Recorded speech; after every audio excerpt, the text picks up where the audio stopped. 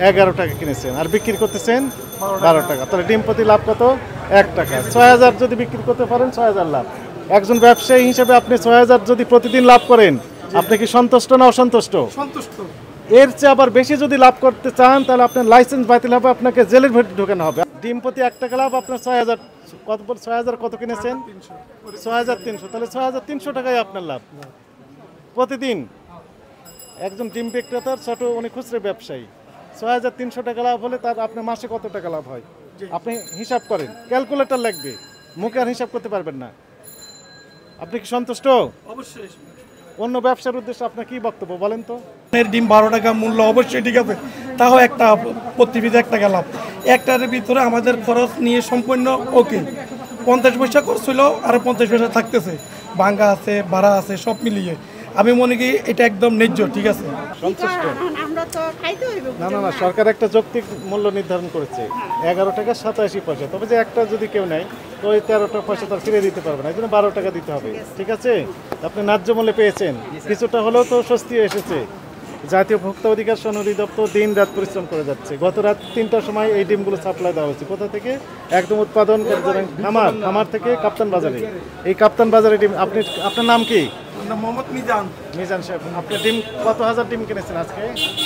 মাল আমাদের ছ হাজার তিনশো। ছয় হাজার তিনশো। কত করে কিনেছেন? এগারো টাকা। এগারো টাকা কিনেছেন। আর বিক্রি করতেছেন? বারো টাকা। তাহলে ডিম প্রতি লাভ কত? এক টাকা। ছয় হাজার যদি বিক্রি করতে পারেন ছয় হাজার লাভ। একজন ব্যবসায়ী হিসেবে আপনি ছয় হাজার যদি প্রতিদিন লাভ করেন আপনি কি সন্তুষ্ট না অসন্তুষ্ট? সন্তুষ্ট। এর চেয়ে আবার বেশি যদি লাভ করতে চান তাহলে আপনার লাইসেন্স বাতিল হবে আপনাকে জেলের ভেতরে ঢোকানো হবে। আপনি সাবধান থাকবেন দয়া করে। সরকারকে এই সময় বিপদে ফেলার চেষ্টা করবেন না। সরকারকে বিপদে না আপনি জনগণকে বিপদে ফেলতেছেন আলটিমেটলি কারণ পয়সা যাচ্ছে কার? জনগণের আঠারো কোটি মানুষের পয়সা পকেটের টাকা চলে যাচ্ছে এখানে। আর সবাই বলবে সরকার সরকার বিপদে নেই তো। জনগণ বিপদে আছে। জনগণকে সহযোগিতার জন্য আপনাকে আমার আমরা ধন্যবাদ জানাচ্ছি। যেহেতু আপনি সরকার নির্ধারিত দামেই বিক্রি করতেছেন আপনাকে আমরা ধন্যবাদ জানাই। ঠিক আছে? যদিও একটু গরম কথা বললাম। হ্যাঁ ঠিক আছে এগারো টাকায় আপনি ডিম কিনেছেন। এরপরও যদি আপনার বারো টাকা বিক্রি করেও যদি আপনার পর্তা যদি না হয় আপনার ব্যবসা করার দরকার নেই। অন্য ব্যবসা করেন। ঠিক আছে না? হ্যাঁ ডিম প্রতি এক টাকা লাভ আপনার ছয় হাজার কত বল? ছয় হাজার কত কিনেছেন? ছয় হাজার তিনশো। তাহলে ছয় হাজার তিনশো টাকাই আপনার লাভ। প্রতিদিন একজন ডিম বিক্রেতার ছোট উনি খুচরো ব্যবসায়ী। ছয় হাজার তিনশো টাকা লাভ হলে তার আপনার মাসে কত টাকা লাভ হয়? আপনি হিসাব করেন। ক্যালকুলেটর লাগবে। মুখে আর হিসাব করতে পারবেন না। আপনি কি সন্তুষ্ট? অবশ্যই। অন্য ব্যবসার উদ্দেশ্যে আপনার কি বক্তব্য বলেন তো?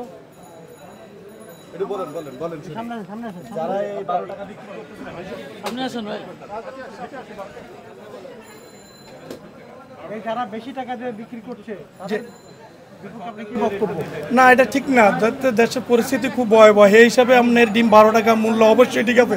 তাও একটা প্রতি পিস এক টাকা লাভ একটার ভিতরে আমাদের খরচ নিয়ে সম্পূর্ণ ওকে। পঞ্চাশ পয়সা খরচ হলো আর পঞ্চাশ পয়সা থাকতেছে। ভাঙ্গা আছে ভাড়া আছে সব মিলিয়ে। আমি মনে করি এটা একদম ন্যায্য ঠিক আছে? আচ্ছা এই যে দাম ডিমের দাম নিয়ন্ত্রণ করার জন্য ভক্ত দপ্তর যে কাজ করছে এটাই কীভাবে দেখছেন? এটা খুব ভালো এটা আমি একবার অনেক সৌন্দর্য মানে অনেক সন্তুষ্ট তো এটা এটার জন্য। বাজার মনিটরিং না হলে তো আমাদের দেশের যে পরিস্থিতি এটা অটোমেটিক এভাবে যে মনিটরিংয়ের উপরে আমাদের দেশের মানে ব্যবসা বাণিজ্য ঠিক। এটা আমি খুব ভালোভাবে দেখতেছি।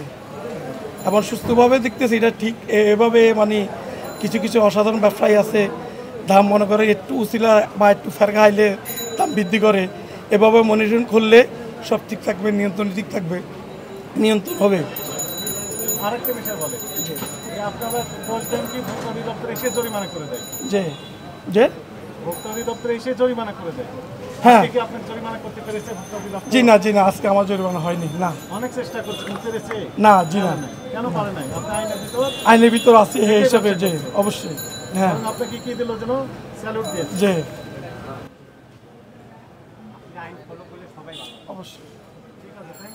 আপনি। যদি একটু বলেন জরিমানা ওনাকে কেন হলো না? আছে। ভাই আপনি যদি একটু বলেন সবাই তো অভিযোগ করে যে আসলে জরিমানা করে। সরকার কর্তৃক নির্ধারিত যে মূল্য, সেই